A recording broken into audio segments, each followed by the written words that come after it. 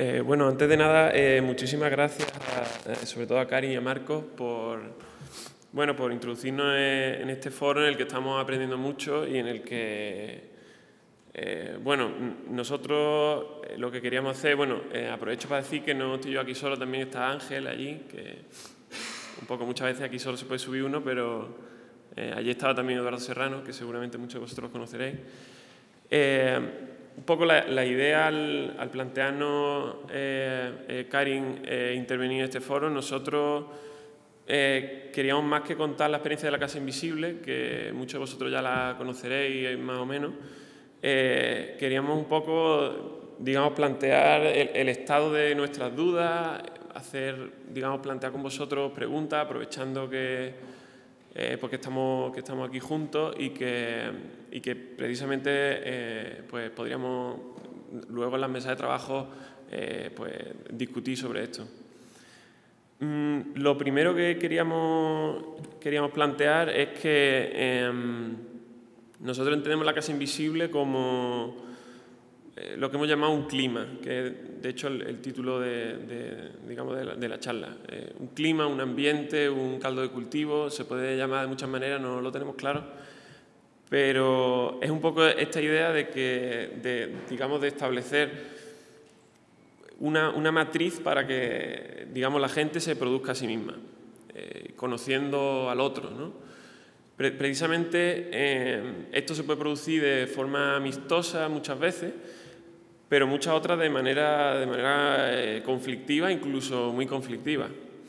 Mm, pero entendemos que es en esta fricción de, lo problemático precisamente donde, donde creemos que existe un espacio fértil precisamente para la creatividad y para la inventiva.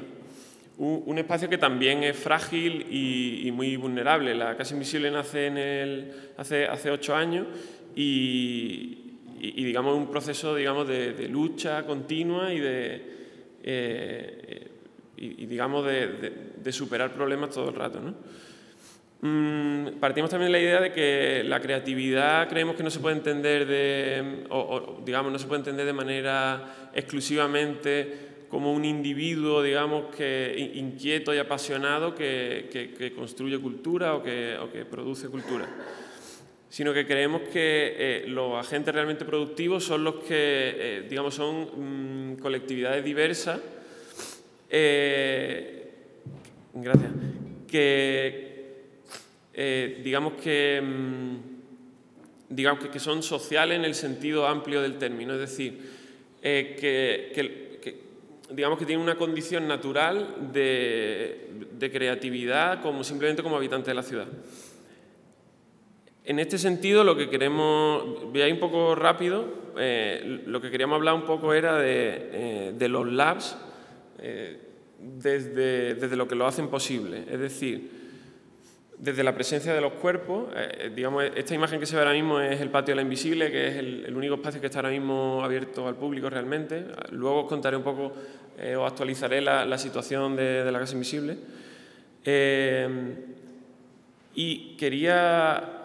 un poco, por, hacer un, pequeño paréntesis, esta es una imagen que sale en uno de los capítulos del último libro de Comité Invisible, que se llama Nuestros Amigos en el que hay una, parte de uno de los textos que nos parece que es muy, muy interesante, que habla en el que, lo leo directamente, explica quien determina el agenciamiento del espacio, quien gobierna los medios y los ambientes, quien gestiona los accesos, eh, tiene el poder.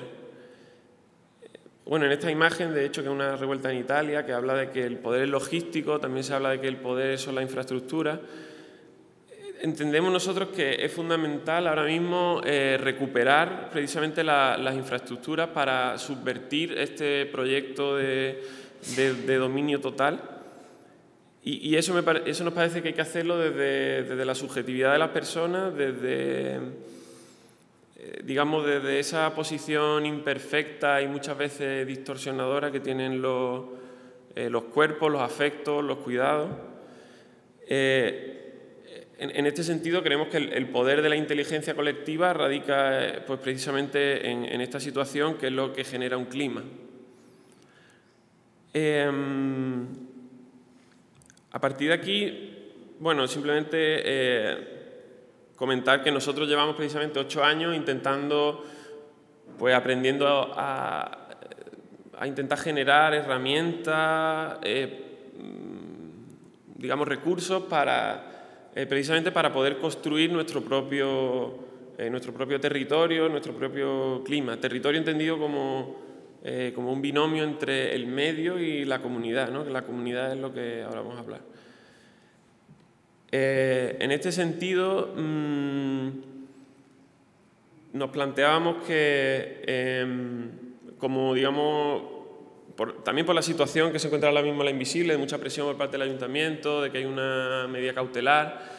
eh, queríamos un poco aglutinar, digamos, algunas de las conclusiones a las que habíamos llegado e intentar plantear lo que hemos llamado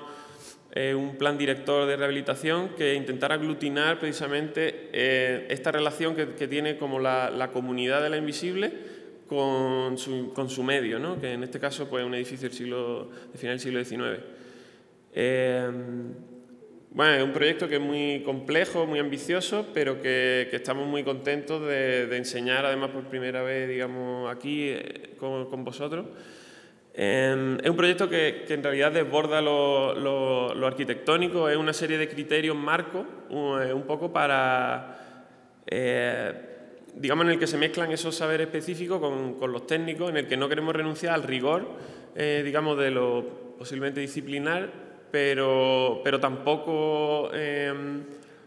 digamos, echar a un lado eh, pues, pues lo informal, esa trama de afecto que existe en la casa y, e incorporar todos esos saberes específicos que son diferentes, que no tienen nada que ver con la arquitectura y que sin, y sin embargo son tan, tan, importantes para la arquitectura. Mm, por hablar rápidamente algo del proyecto, mm, simplemente algunas, eh, algunas cuestiones eh, que entendemos que, que pueden ser interesantes. Eh, el, proyecto se plantea como un proceso gradual a lo largo de, siete fases en el que creemos que es importante hacer compatible el uso de las actividades que hay ahora mismo eh, en marcha con la rehabilitación del propio, inmueble. Em, creemos que es importante que esto no se entienda como un continente y un contenido. Marco hablaba ayer eh, precisamente del, del valor que tiene también la infraestructura o el hardware, ¿no? que si el software se entiende como los contenidos y el hardware como eh, la plataforma precisamente para producir, eh, entendemos que, es tan importante como los contenidos, eh, digamos, el medio en el que eso se produce. Mm, por, por avanzar, que tampoco quiero detenerme en esto, que quizás podemos profundizar más en la mesa de trabajo a quien le interese. Eh, simplemente queríamos eh, contar un poco la, situación de la casa ahora mismo. Em, digamos, el diálogo con, el ayuntamiento lleva seis meses parado, desde que, desde que en enero la Casa Invisible, eh, el ayuntamiento digamos, hace un cierre cautelar de todo el edificio con, con, unos pretextos técnicos que ni siquiera nos han dejado rebatir técnicamente también. Pues hasta, hasta este momento, de hecho la semana pasada salió una noticia en el diario Sur, que es el periódico local más importante, en el que el ayuntamiento ya dice que va a retomar el, diálogo con el invisible. Eh, lo, que, lo que quería decir un poco es que, mm, digamos que lo importante de, generar una, una, comunidad precisamente es que cuando, cuando uno le surge un problema precisamente, eh, un conflicto, eh, la comunidad reacciona y esto, por ejemplo, es la manifestación que hubo en, enero, justo como reacción a eso que al, cierre cautelar, digamos, que directamente desbloqueó que el patio de la invisible sí que se pudiera abrir. Eh, como para, terminar, quería hablar un poco de, los retos que asumimos, que son culturales, políticos, jurídicos, económicos, digamos, de muchos tipos en el que todo lo que proponemos eh, sigue siempre bajo, bajo el signo de lo problemático, problemático entendido como, eh, como una acción que no es simplemente la, digamos, la actuación de, de, digamos, de un protocolo, de, un procedimiento predeterminado, sino que es un mecanismo que todo el rato se, eh, se revalúa y se cuestiona a sí mismo. Y, que entendemos que, precisamente eso problemático debe ser una oportunidad para, para generar conocimiento, incluso para, para, la creatividad y para la inventiva. Simplemente, por, último, decir un poco en relación a lo que comentaba Pedro de CEMOS ayer, que lo que, lo que hace la vida precisamente vivible es, esto, ¿no? que, podamos generar estos, estos climas en los que, los que estemos juntos y podamos producir cosas y a nosotros mismos eh, y que en realidad es simplemente eh, pura necesidad. Eh, nada más, muchas, muchas gracias. Gracias